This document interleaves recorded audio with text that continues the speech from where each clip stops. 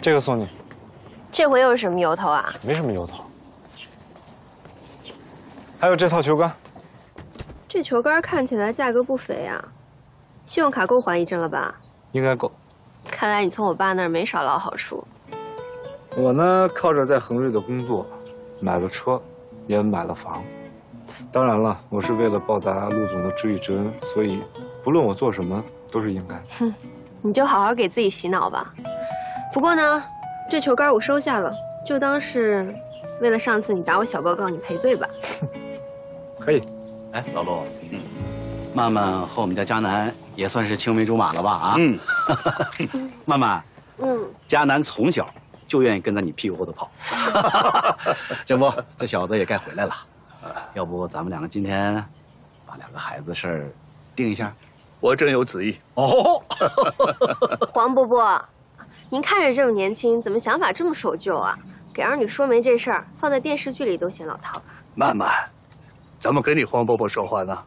黄伯伯，对不起啊，我刚才那个话的意思呢，就是我自己会有自己的想法的。找不找男朋友这事儿，我自己说了算，不用您费心了。啊，对对对对对。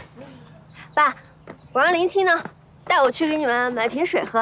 哎哎。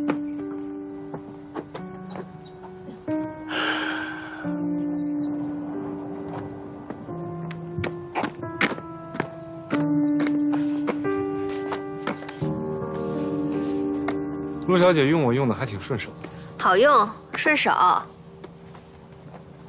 不高兴了？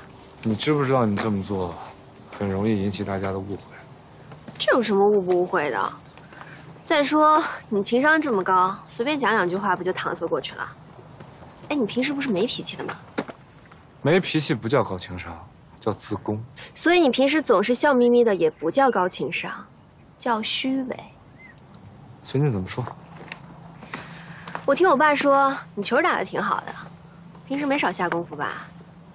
不过现在呢，被我叫出来买水了，连上场的资格都没有，很不爽吧？并没有，我打球从来都不是为了上场。